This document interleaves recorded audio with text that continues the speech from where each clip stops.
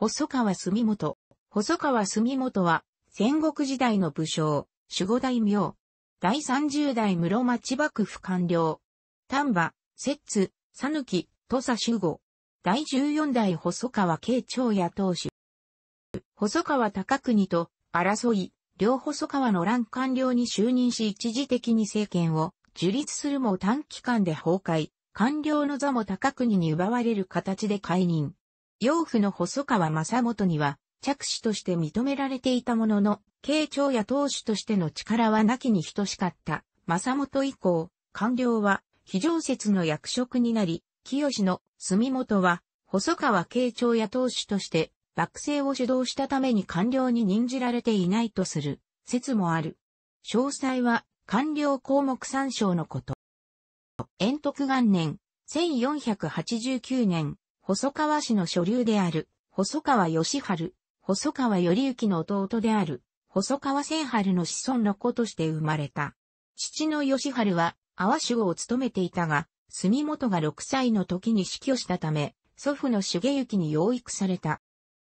住本の生まれた、阿波細川や、千春流は、細川氏の氏族であり、小番州の格式でもあった。一方で本家の細川慶長や当主、細川正元は当時官僚として、幕府で重きをなしていたが、独身を貫き子がなかったため、石棺九条家からの養子、宗明丸、後の細川清の王、家督継承者としていた。しかし、正元は、宗明丸と折り合いが悪く、文紀3年、1503年5月に、宗明丸を拝着し、六郎、住本を養子として迎え入れた。同年に元服、第十一代将軍、足利義澄より返記を受けて住本と名乗る。この際に慶長屋の家督継承者に付けられる元の字を与えられていることから生より着し、後継者とみなされていたことがわかる。逆に拝着された宗明丸改め清これには、のの字が与えられている。こうして、正元の後継者となった住本は、永正3年、1506年から永正4年、1507年にかけて、正元の命令で、清野と共に、丹後の一式義勇を攻めたが、敗北している。また、永正3年、1506年頃より、正元に代わって、摂津死後の職務を行っている。正元の後継者は、一応住元となっていたが、正元は、住元を養子にした後にさらに、細川氏の一族である、野州家より、細川正春の子、高国を養子に迎えるなど、三人の後継者候補が並立する状態を作ってしまった。そんな中、永正4年6月23日、正元が、高西元長や薬師寺長忠清野の支持者によって暗殺されたことがきっかけとなって、永正の錯乱が発生した。住元も、翌24日に、清野の家臣に屋敷を襲われ、三好これ長と共に、大宮王子城に逃れ、黄河の山中為春を頼って逃走した。そして、近江の国人の力を借りて、勢力を盛り返し、8月1日には、京都に侵攻して、清野とその支持者を討ち取り、2日には、将軍、足利義澄に対して、細川慶長屋の家督継承を承認させたのである。ところが住本は若年だったため、喝采であった三好これ長の実力が逆に大きくなり始め、住本はこれ城と対立して一時は、阿波に帰国しようとした信種狂気。この時には、足利義澄の説得もあって、帰国はとどまっている。8月27日に、家臣の赤沢長常を大和へ派遣、大和を制圧した。このような京都における一連の内乱が、周防に流れていた第十代将軍、前将軍、足利義院、義在より解明、後の義種のもとに知らされると、議員は、大内義興に擁立されて、上洛を開始する。住本は、義興との和睦を画策したが、同じく正元の養子で、清の討伐に協力した細川高国が大内方に寝返ったため、決裂してしまった。高国離反の背景として、不問物語という軍記物語の栄称五年城には、住本が淡路代以来の側近である、三好これ長、高畑長信、中網を徴用することに対する反発があり、これに不満を持った細川氏の一門が住本を排して、細川政権を擁立しようと画策したところ、細川元春が高国の方がふさわしいとする主張を述べて、政権らを納得させたと伝えられている。また、高国の擁立を聞いた慶長屋の内主も、家臣高国側に寝返ってしまったという、なお、慶長屋の内主の中でも、赤沢長常の一族のように住元に従った者もいた。さらに三好これ長のように、淡守五家から住元につけられて慶長屋に入った。家臣に慶長屋の所領である、佐抜国の所領が与えられるようになると、佐抜の内主の中にはこれを、淡守五家による侵略と皆物がおり、彼らも高国に協力するようになる。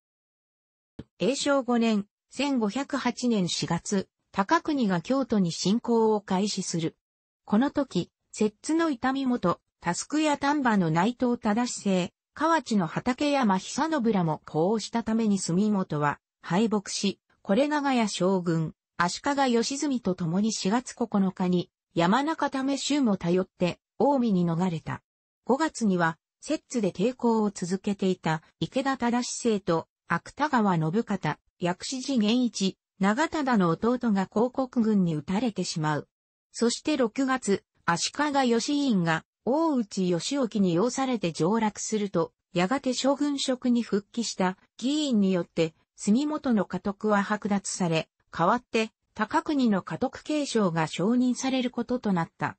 8月に大和に残った赤沢長常も畠山久信に撃たれた。ところが、大内義興と議員が対立し始めたため、住本との長は、永正6年、1509年に京都に侵攻したが、逆に高国と義興の反撃を受けて敗北、匂いヶ岳の戦いし、住本との長は、阿波に逃走する。なお、この時の侵攻の失敗について、住本は、阿波からの援軍との攻撃を計画していたものの、清の高国を支持していた讃岐の諸子が阿波への侵攻を図り、阿波勢が動けなかったことが背景にあったという。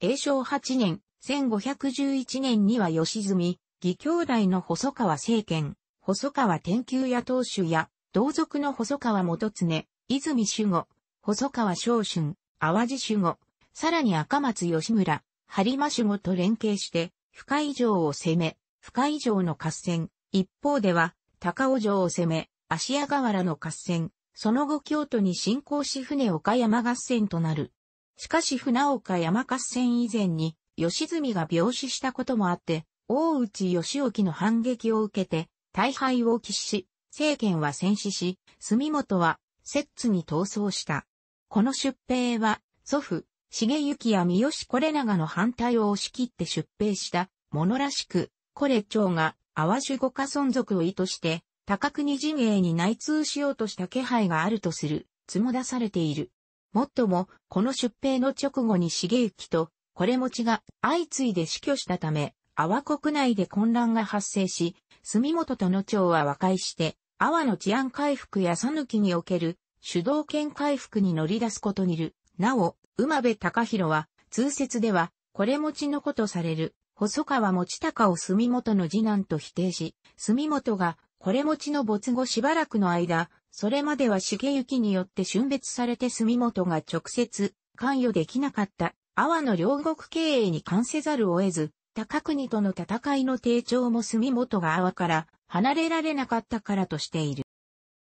永正15年、1518年8月、大内義興が周王に帰国すると、永正16年、1519年に住本と野町は摂津に侵攻、田中城の戦いする。永正17年、1520年1月に入ると、住本に呼応して山城で土一揆が発生する。そして、将軍、足利義種、永正8年、1513年、議員より改名も住本に通じて裏切ったため、細川高国は単独で近江坂本に逃れた。これにより、住本政権が成立する。すでに高国川に離反していた細川昭春を滅ぼして、淡路を手に入れ、阿波、讃岐でも巻き返した住本は、前の二度の出兵では得らなかった四国からの援軍を上陸させる構想を実現させたことが成功の背景にあったとみられる。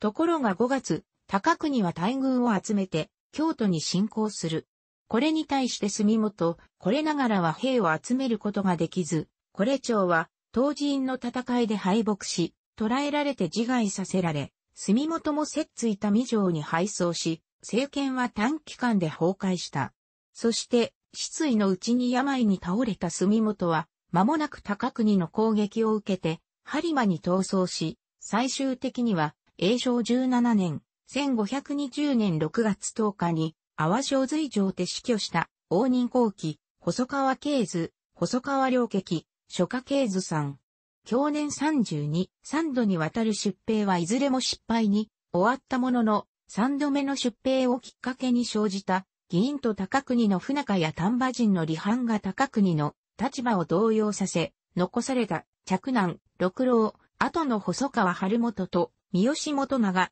野長の孫による細川高国政権の打倒につながることになった。住本の死後、着男の春元が家督を継いだ。春元は三好これ長の孫、元長と共に再び機内へ上陸し、高国を撃ったが、高国の養子、氏綱、政権の義孫との戦いが続き、その最中に元長の子、長慶が氏綱方についたため、敗北している。子孫は豊臣家中を経て、三春藩の家老となった総孫の細川元勝の功を参照のこと。楽しくご覧になりましたら、購読と良いです。クリックしてください。